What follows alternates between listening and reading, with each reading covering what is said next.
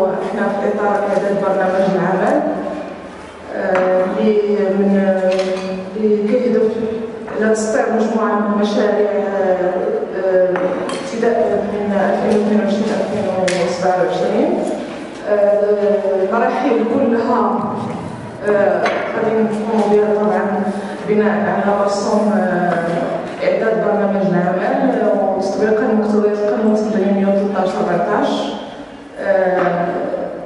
وبالتالي حنايا اليوم في اطار اجتماع من أجل تنظيم ورشات تشخيص تشاركي مع الجمعيات الفاعله بالمدينة آه، بعد ما قمنا بتتبع المصادر كامله لاعداد برنامج العمل اللي من بينها اللقاء الاخباري والتشاوري ورشات تشخيص تشاركي كنتمنى تقدموا لنا اقتراحات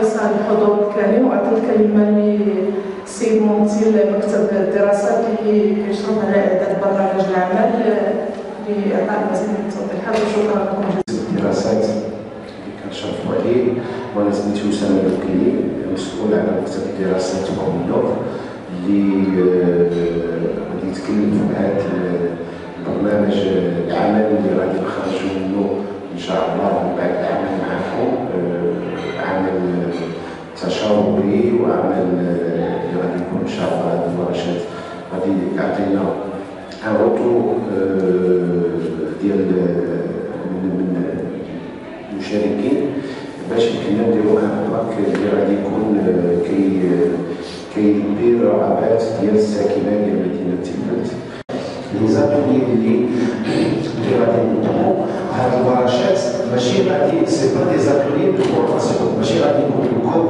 ها كيفاش المنظومه الاجتماعيه كيف دايره ولا كيفاش خلق المقاولة كيف دايره ولا لا هاد الورشات خصنا. اللي غيشاركوا في الورشات هما اللي يتكلموا. حنا كنديروا شوية ديال l'orientation de l'animation et puis voir un peu recueillir. ناخذوا من عندكم شنو هما شنو باغيين نتوما بالنسبة للمدينه ديالكم وشنو هما الاحتياجات ديال الشباب الاحتياجات النساء الاحتياجات ديال ال infrastructure أسامة لوكيلي اليوم في مدينة تيفلت كمكتب دراسات اللي غادي يتكلف بال PAC plan d'action communal بعد الانطلاقة الرسمية ديالو في الأسابيع الماضية. اليوم إن شاء الله غادي ننظموا مجموعة ورشات اليوم وغدا باش يمكننا نتكلموا مع الساكنة ونشوفوا شنو هما المتطلبات ديالهم وشنو هما المسائل البرامج ولا المشاريع اللي كيتمناو باش يدخلوا في هذا ال plan d'action communal في هذا المخطط ديال الجماعة في السنوات القادمة في السنوات القادمة يعني في الخمس سنوات القادمة. بالنسبة لهذه الورشات كنتمناو باش تكون المشاركة جميع الفعاليات ديال ديال الجامعة باش يمكننا نخرجوا بخلاصات ونخرجوا ببرامج ونخرجوا بمشاريع اللي غادي يمكن لهم يستجبوا لي زاسبيراسيون ديال الناس ديال الجامعة بالنسبة للشباب الشيوخ النساء الأطفال والرجال كذلك بالنسبة للسنوات القادمة. حنا بالنسبة لنا على حسب لي ديسكوسيون يعني آه، الأولية اللي درناها مع مع المسؤولين عن على الجامعة هاد هاد المدة هذه آه، القادمة غادي يكون واحد آه، واحد انزوم يعني واحد سميتو بالنسبة بالنسبة للجماعة بالنسبة للشباب. غادي يكون الشباب هما اللي آه، القاطرة ديال هذه المنطقة هذه وسورتو بالنسبة لفتح فرص الشغل للشباب وتكوين مشاريع ونيفو مقاولاتية. وحنا آه، كنظن بأن حتى الشباب حتى المكونات ديال المنطقة آه، غاديين في في التوجهات ديال صاحب الجلالة بالنسبة لدعم الاستثمار دعم الشباب دعم خلق الفرص للشباب عن طريق الاستثمار ودعم المقاولات المقاولات الكبيرة المقاولات المتوسطة والمقاولات الصغيرة والجد الصغيرة. المشاريع اللي هو تاهيل وتطوير القدرات اي عمل على العنصر البشري بالنسبة لتأهيل وتطوير القدرات المنتخبين كان سبع مشروع ولا شي مشروع. في حين كان مشروع واحد حول تأهيل وتطوير قدرات الموظفين وكانوا مشروعين حول تأهيل وتطوير قدرات الجمعيات تفاصيل كما في برنامج عمل السابق. اش علاش قدمت أنا هادشي كامل؟ عندنا بعض المراحل الأولية. من خلال نوعية المشاريع اللي تقدمت بان بأن الجماعات أولوية لتأسيس خدمات القرب والنور بالمرافق العمومية للجماعة. المجموع ديال هذه المشاريع كان 40 مشروع وبعده تقويه بنيه الجهات العموميه الجماعيه 14 مشروع وفي الاخير تأهيل آه وتقوية القدرات. كانوا ثلاثة ديال المشاريع وكانت ملاحظة مهمة.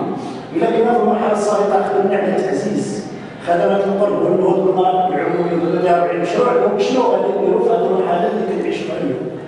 من خلال اولويات تبين أن الجامعة السنوات الاولى بنيه التسويه وخدمات القرب الشيء الذي قاسم الدسطي آه، عن مكتب دراسات فورمينوف المكلف بمواكبه الجماعة ديال تفلت في إعداد برنامج عمل الجماعة للفترة 2022 2027 اللقاءات ديال اليوم هي اللقاءات ديال ورشات التشخيص التشاركي.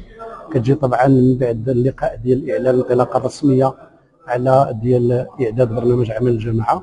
وهذه الورشات عندنا أربع ورشات أساسية اليوم. أربع ورشات تكون موزعة ما بين 25 و 26 يعني اليوم وغدا الورشتين الأولتين ورشة غادي تتناول المواضيع ديال خدمات القرب اللي كتقدمها الجماعه ثم الورشة ديال الادماج الاقتصادي للشباب والورشة الثالثة ستكون حول الخدمات الاجتماعية والورشة الرابعة ستكون حول الحكمة وآلية الديمقراطية التشاركية بالجماعة. آه، طبعا هذه الورشات غيحضروها ممثلين ديال الساكنة وممثلين ديال الأحياء وممثلين ديال المنظمات المدنية. بعد هذه اللقاءات طبعا سننظم لقاء مع الهيئة ديال المساواة وتكافؤ الفرص ومقاربة النوع بالجماعة ثم سنشتغل مع اللجان الدائمة للمجلس من أجل البرمجة والتخطيط. ثم في المرحلة الأخيرة طبعا من هذا المسلسل ديال إعداد برنامج عمل الجماعة سوف نعمل على إعداد مصفوفات ديال المشاريع مصفوفة ثلاثية للثلاث سنوات الأولى ومصفوفة سداسية لست سنوات. ثم سنضع مخططا للتتبع والتقييم كما يحث على ذلك المرسوم التطبيقي لإعداد برنامج عمل الجماعة. شنو هي الوضعيه اللي كاينة؟ شنو هي الحاجات عنها؟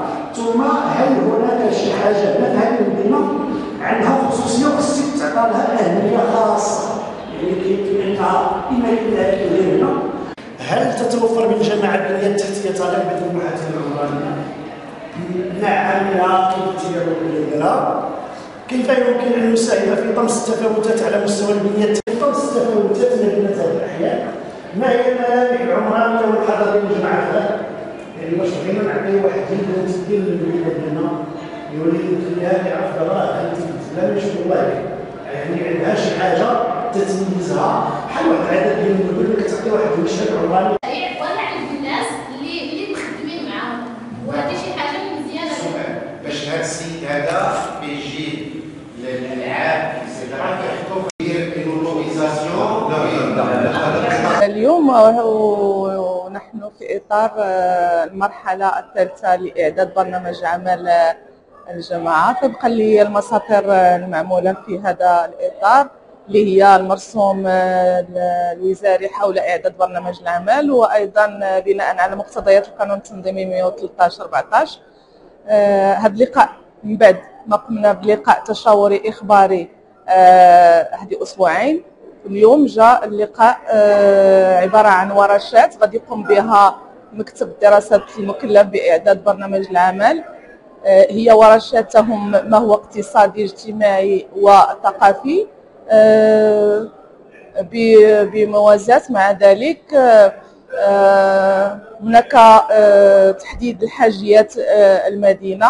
غادي يقوم مكتب الدراسات بتحديد حاجيات المدينة ومعرفة الوضعية الحالية. آه، في أفق عقد اجتماعات مع هيئة المساواه وتكافؤ الفرص وأيضا مع عقد آه، أيضا عقد اجتماعات مع اللجان الدائمة للمجلس الجماعي وذلك في إطار إعداد برنامج عمل الجماعة 2022 2027